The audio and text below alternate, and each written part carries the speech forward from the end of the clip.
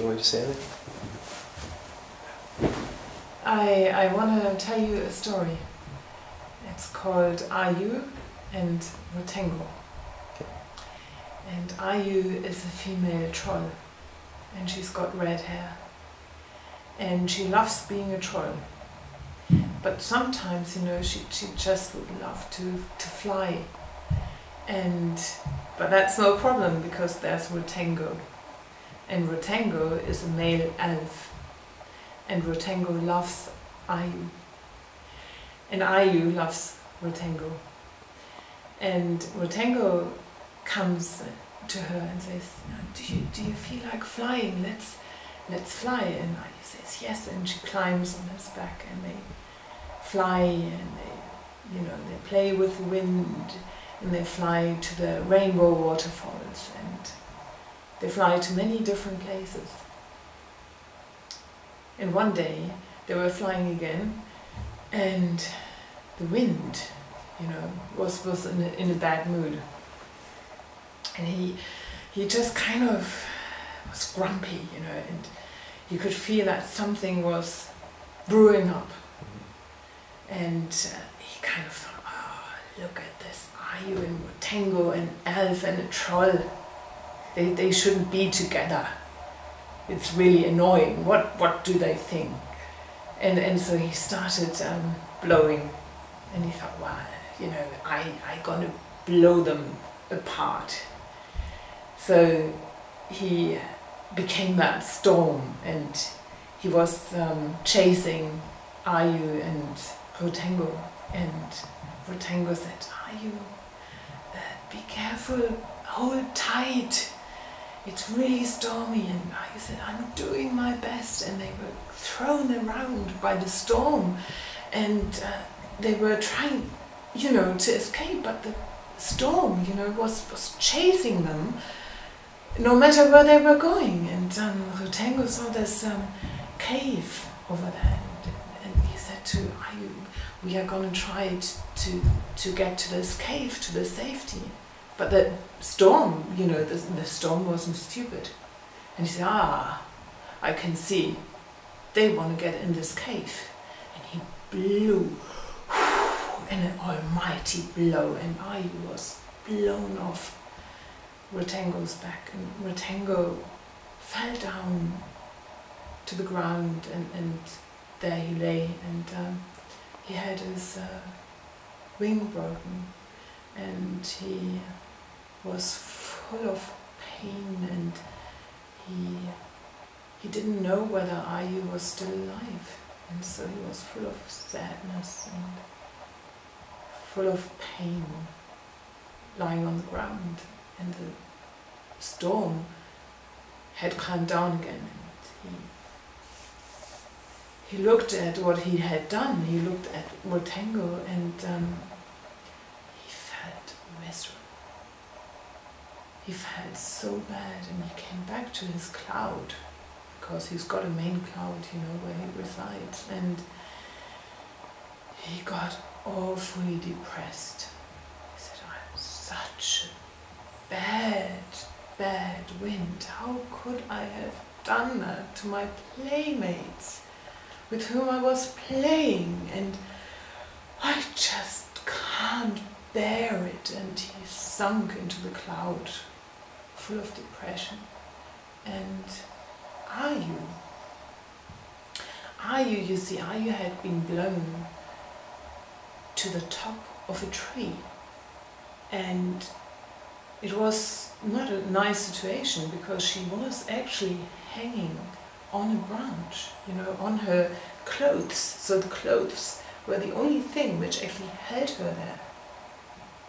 And it was a very, very, very, very tall tree.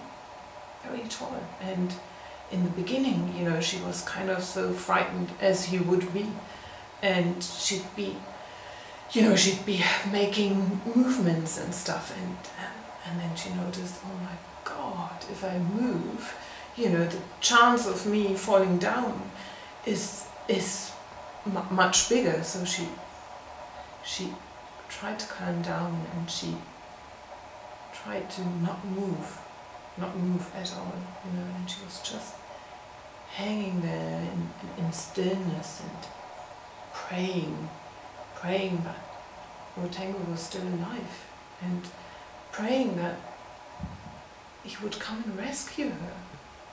That, there was there was nothing nothing she could do. Nothing. Just hang there and pray, I suppose, in stillness. Rotengo, on the other hand, was in so much pain that he lost his consciousness. And he was just lying there on the ground. And then a snail came by, a snail with a beautiful red house on top of her. And the snail um, saw Rotengo and, and she took pity with him and she thought, oh, he needs to go to his people, you know, that they can heal him. So she loaded him, well, she opened her door to her house and she loaded him into the house.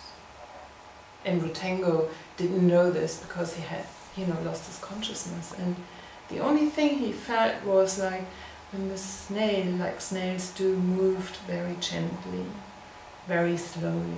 He felt this movement, you know, this rocking movement. So the snail was on her way. And the wind still was depressed. You know, he, he just didn't want to be a wind anymore. You know, if, if the wind, I suppose if the wind could have committed suicide, eh, he would have done it, but he was the wind, you know. So he was sitting on his cloud, being really depressed. And um, Aju was still hanging there. And she thought, you know, if that's my fate, if I have to die, I, you know, I want to have it as painless as possible just let it be over, over with. And uh, I, uh, if there's anything I can do, please show it to me. And then um, the spider came along. The spider saw Aju hanging there. And the spider wove a very, very thick thread from the branch Aju was hanging over to a pine tree.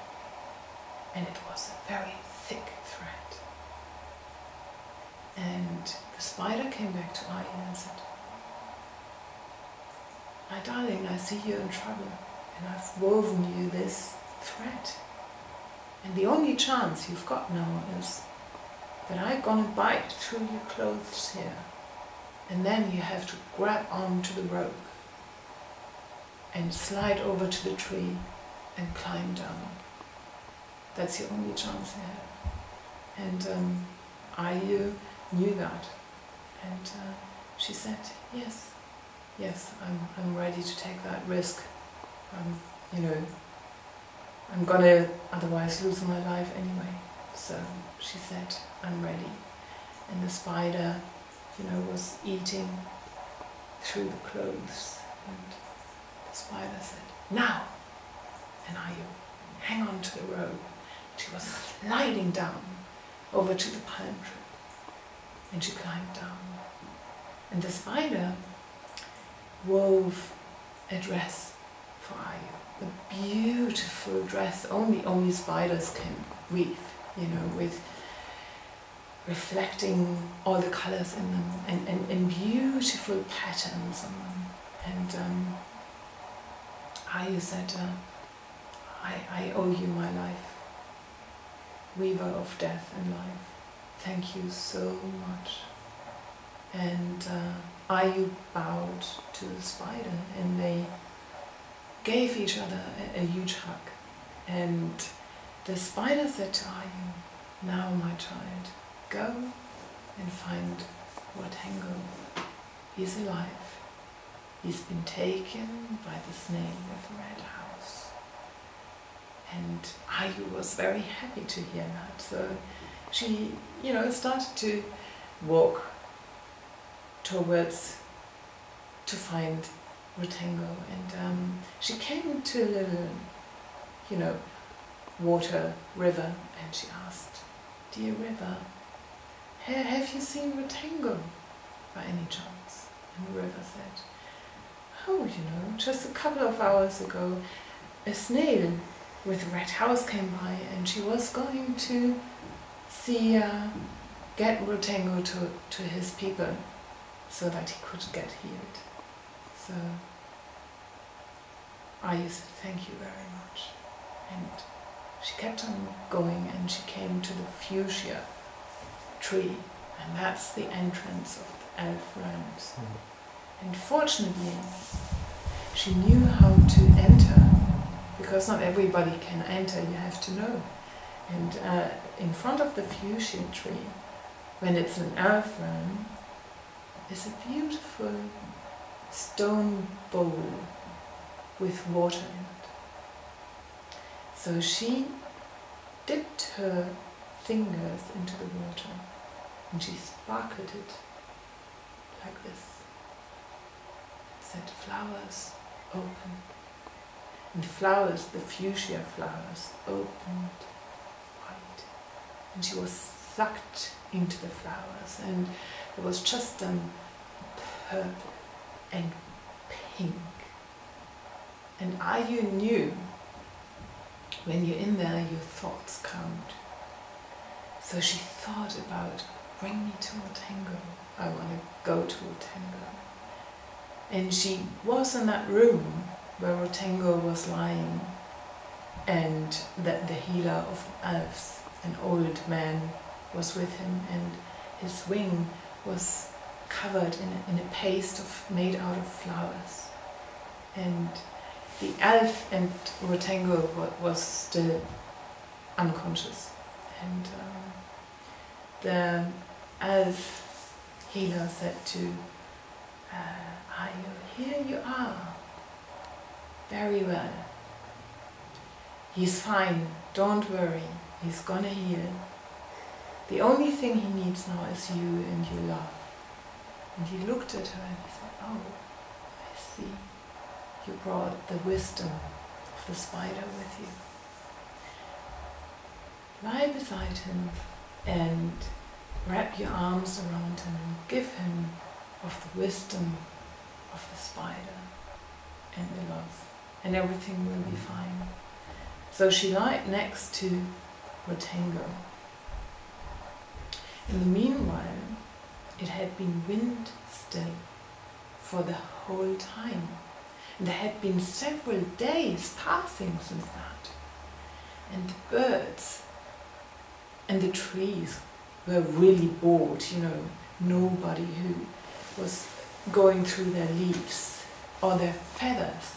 And they were starting to shout for the wind. And they said, Wind, wind, come play with us.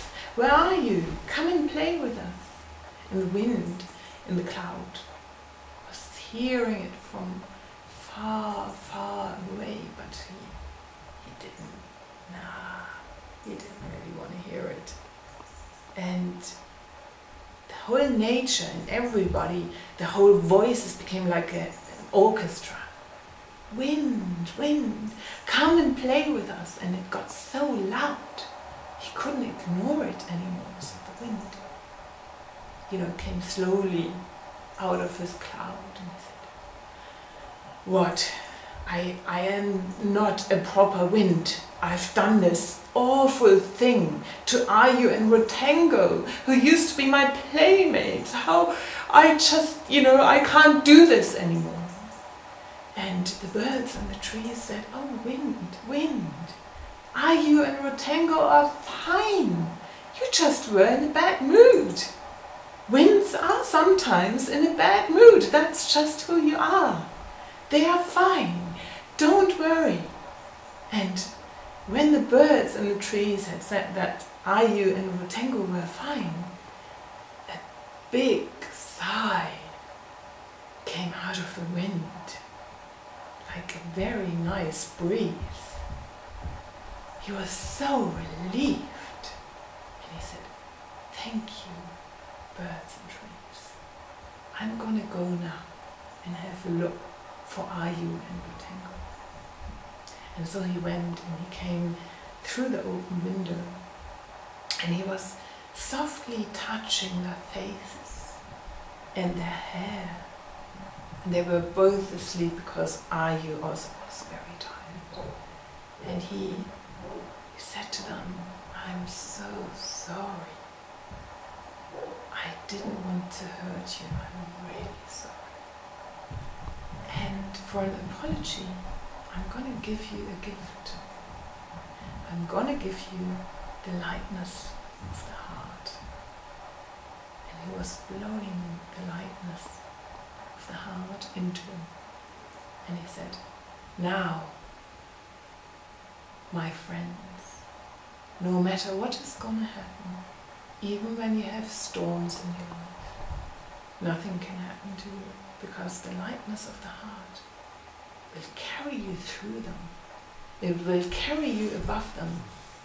In this way, I never ever can hurt you again. And the wind kissed them a goodbye on their foreheads. He left to play with the birds and the trees. And that's been my story. Wow, thank you. Yeah. That's amazing. Thank you very much. Oh gosh, that's good. Uh, yeah, yeah.